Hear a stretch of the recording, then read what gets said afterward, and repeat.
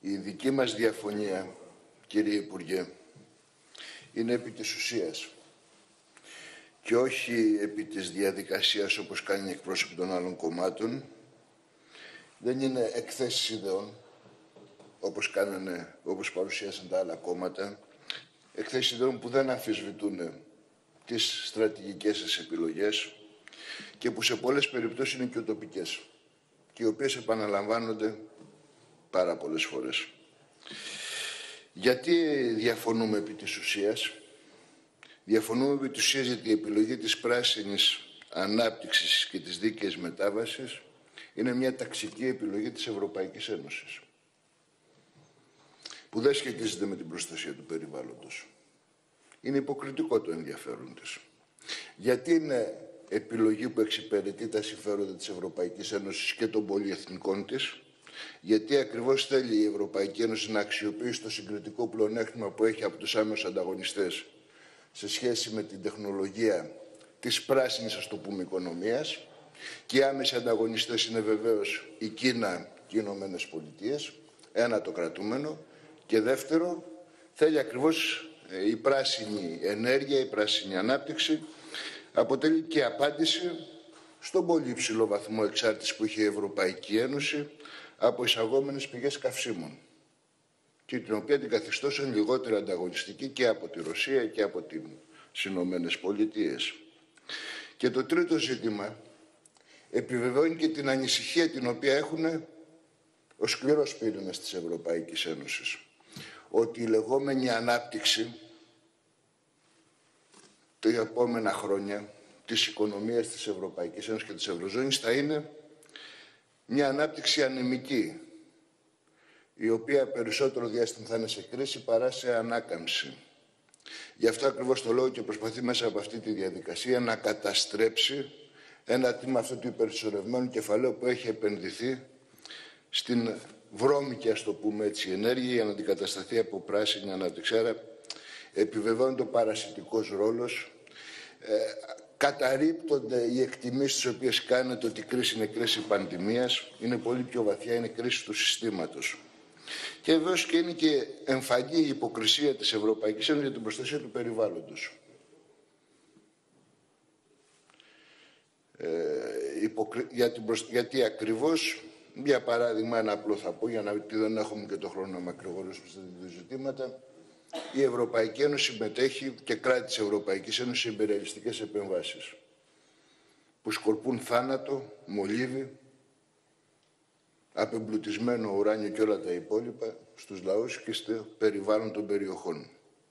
Άρα δεν μπορεί να είσαι επιλεκτικά υπέρ του περιβάλλοντος ή να είσαι επιλεκτικά υπέρ αυτού που ονομάζεις προστασία του κλίματος όταν το περιβάλλον δεν είναι μόνο το κλίμα. Όταν δηλαδή επιτρέπει να παραδίδονται ορεινοί όγκοι, δασικές, ο δασικός πλούτος, οι ακτές και οι γυαλί. Από αυτή την άποψη η επιλογή της απολιγνητοποίησης, που δεν είναι βεβαίως δικιά σας μόνο, και η προηγούμενη κυβέρνηση αυτή την επιλογή έχει του ΣΥΡΙΖΑ. Αποτελεί ένα σταθμό σε μια μακροχρόνια πορεία που ξεκίνησε από τα μέσα της δεκαετίας του 90. Αυτή η μακροχρόνια πορεία ήταν είναι η πολιτική της Ευρωπαϊκής Ένωσης για απελευθέρωση της αγοράς ενέργειας. Ποια ήταν τα χαρακτηριστικά της γνωρίσματα, τα, τα, τα διατρέχω πολύ σύντομα. Πρώτο σκανδαλώδη κίνητρα στα αρπακτικά που θα επενδύσουν στις ανανεώσιμες πηγές ενέργειας. Σκανδαλώδη κίνητρα. Σας έχουμε ζητήσει και από εσάς και από τις προηγούμενες κυβερνήσεις να μας φέρετε μια τάξη μεγέθους όλων αυτών των κινήτρων που δόθηκαν με διάφορες μορφές στις εταιρείες παραγωγής ανανεώσιμων πηγών ενέργειας. Για να δούμε λοιπόν αν ένα τμήμα, ένα πολύ μικρό τμήμα από αυτές τις σκανδαλώδεις επιδοτήσεις, χρηματοδοτήσεις και στηρίξεις, θα έφτανε να εξυγχρονιστούν οι λιγνητικές μονάδες και να είναι πολύ μικρό, γιατί υπάρχουν αυτές τις τεχνολογίες, το αποτύπωμα στο περιβάλλον από την αξιοποίηση του λιγνίτη για την παραγωγή ηλεκτρικής ενέργειας. Δεύτερο ζήτημα. Ενώ υπήρξαν αυτά τα σκανδαλώδη κίνητρα, από την άλλη μεριά υπήρξε μια τρομακτική εισφορο επιδρομή στη χρήση του λιγνίτη. Το είπε και ο κύριος Υπουργός. έφτασε να είναι μη συμφέρουσα η παραγωγή ενέργειας από λιγνίτη λόγω ακριβώς των τεράστιων εισφορών τις οποίες έχουν βάλει στο όνομα της προστασίας του περιβάλλοντος. Που υποκρισία, αν δεν είναι αυτό, είναι η εμπορία των ρήπων. Μπορώ να αγοράζω δηλαδή ρήπος άμα έχω χρήματα και δεν με ενδιαφέρει το περιβάλλον. Τον παίζεται στο παζάρι του χρηματιστηρίου κι αυτό. Τρίτο ζήτημα είναι η επιδείνωση της θέσης της λαϊκής οικογένειας. Εκεί οδήγησε η απελευθέρωση της ηλεκτρικής ενέργειας. Και δύο στοιχεία θα πω μόνο. Ο κύριος Υπουργός μίλησε ότι την τελευταία δεκαετία μειώθηκε η παραγωγή ενέργειας από λιγνίτη κατά 60 περίπου 66% είπατε κύριε Υπουργέ, από τα 30 τεραβατόρες στις 10.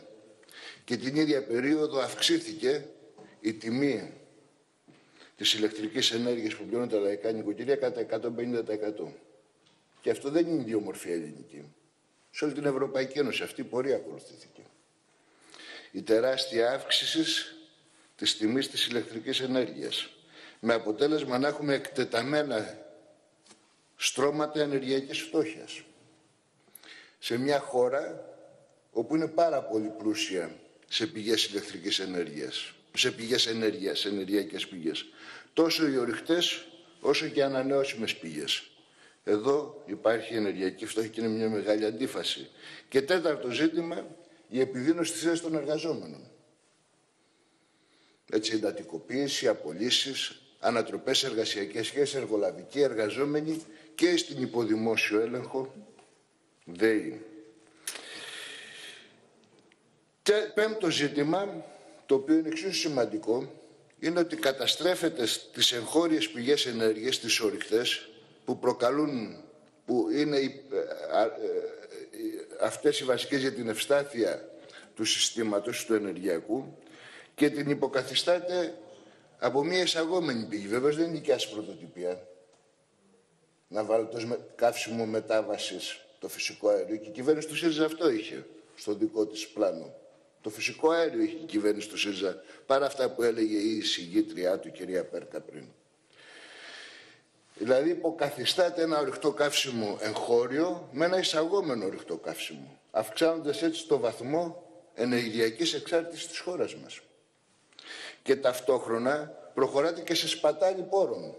Γιατί το ξέρετε πάρα πολύ καλά, είσαστε και ειδικοί, ότι υπάρχουν πολύ μεγάλες απώλειες όταν το φυσικό αέριο χρησιμοποιείται για την παραγωγή ηλεκτρικής ενέργειας. Έτσι. Είναι γνωστό αυτό. Ενώ αντίθετα η αξιοποίηση για οικιακή βιομηχανική χρήση δεν έχει τέτοις, τέτοιο βαθμό απώλεια. Αλλά ας δούμε που τα ποσοστά κατανομής μέχρι τώρα του, του φυσικού αερίου, περίπου το 60% αν δεν κάνω λάθος, διορθώστε, μένει για την παραγωγή ηλεκτρικής ενέργειας. Ένα 25-30% είναι για τη βιομηχανική χρήση και ένα 10% είναι για, για οικιακή χρήση. Μετά από μια 15 ετία, ας το πούμε έτσι, ε, της εισόδου του φυσικού αερίου. Έτσι λοιπόν το αποτέλεσμα αυτής της επιλογής, και ολοκληρώνω με αυτό, της απολιγνητοποίησης, τι θα έχει, θα έχει μια πολύ ακριβή ενέργεια για το λαό και για τα λαϊκά στρώματα. Και ταυτόχρονα για τις περιοχές αυτές θα έχει ανεργία και φτώχεια. Παρά το ομολογουμένο συνεχτικό σχέδιο το οποίο έχετε για τις απολιγνητοποιημένες περιοχές.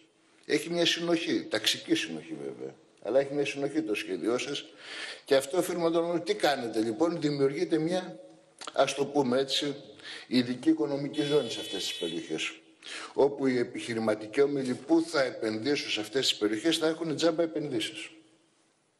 Τζάμπα επί της ουσίας. Όταν δίνεται από ποσοστά από 60 έως και 80% στήριξη των επενδυτικών σχεδίων με τις υπερτιμολογίες τις οποίες μπορούν να κάνουν θα είναι και δωρεάν οι επενδύσεις, τα επενδυτικά του σχέδια. Λοιπόν, θα τους χρηματοδοτήσετε σχεδόν το σύνολο της επένδυσής τους. Ένα. Δεύτερον, τους διασφαλίζετε φθηνό εργατικό δυναμικό.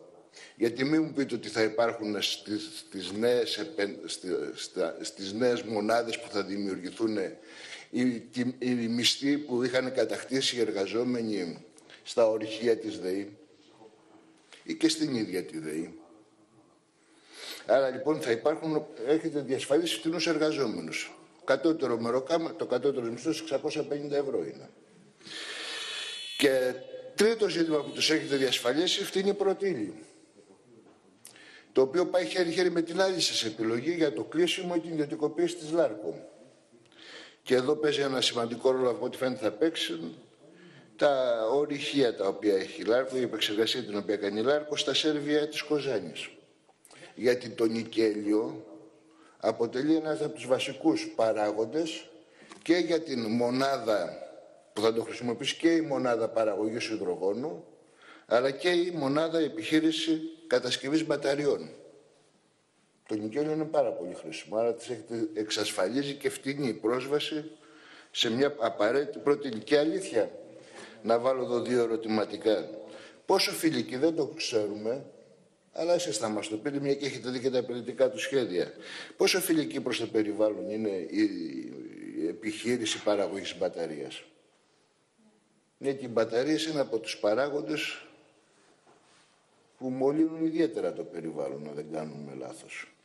Και επίσης πόσο φιλική μπορεί να είναι σχέδια τα οποία ακούγονται, γράφονται και κάποιες φορές διαψεύδονται για τη μεγαλόπολη για μονάδα καύσης απορριμμάτων ή και άλλου ενδεχόμενα.